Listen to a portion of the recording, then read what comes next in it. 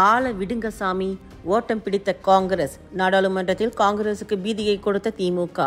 சனாதன ஒழிப்பு என்ற ஒரே வார்த்தையால் மூன்று மாநிலத்தில் காங்கிரஸ் தோல்வியை தழுவியது என தேர்தல் முடிவுகள் வந்த மூன்றாம் தேதி முதல் இப்போது வரை அதிருப்தியில் இருந்து மீள முடியாமல் இருக்கும் காங்கிரசுக்கு இப்போது மீண்டும் அடுத்த பீதியை கொடுப்பது போல திமுக எம்பி செந்தில்குமார் சொன்ன ஒற்றை சொல்லால் இப்போது காங்கிரஸ் அலறி அடித்துக்கொண்டு நாடாளுமன்றத்தில் சொன்ன ஒரே விஷயம்தான் ஆர்டஸ்ட் டாபிக் குளிர்கால கூட்டத்தொடரின் நேற்றைய தினத்தில் பேசிய திமுக எம்பி செந்தில்குமார் இந்தி பேசும் மாநிலங்களை நாங்கள் கோமூத்திரங்கள் மாநிலங்கள் என்றும் அங்கு நடக்கக்கூடிய தேர்தலில் மட்டும்தான் பாஜக வெற்றி பெறுகிறது என பேசிய பேச்சு சர்ச்சையான நிலையில் இந்த விவகாரம் பூகம்பமாக வெடிக்க ஏற்கனவே சனாதன சர்ச்சை மிகப்பெரிய தாக்கத்தை இந்தியா முழுக்க ஏற்படுத்திய நிலையில் ராஜஸ்தான் மத்திய பிரதேசம் சத்தீஸ்கர் மாநிலங்களில் தனி பெரும்பான்மையுடன் வெற்றி வாகை சூடியது பாஜக.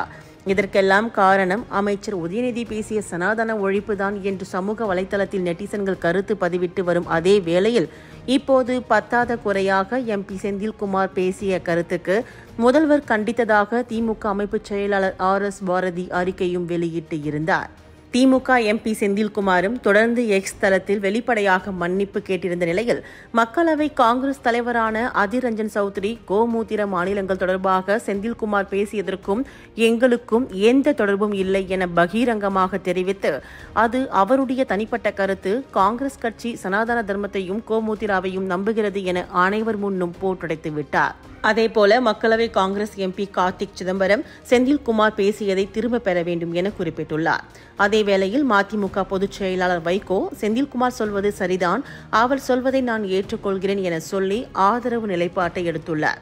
இப்படியான நிலையில் இன்று நடந்த நாடாளுமன்ற கூட்டத்திலும் பாஜகவினர் கடும் அமளியில் ஈடுபட்டனர். இதில் கவனித்து பார்க்க வேண்டியது என்னவென்றால் இந்தி கூட்டணி வரும் நாடாளுமன்ற தேர்தலில் எப்படியும் பாஜகவை வீழ்த்த வேண்டும் என்ற முனைப்போடு போர்க்கொடி தூக்கி வேலை செய்து வருகிறது.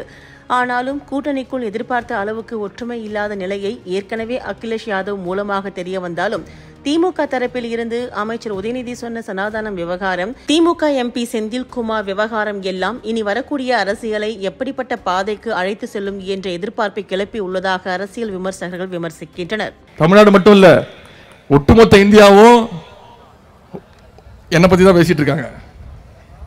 என்ன? சனாதனம்.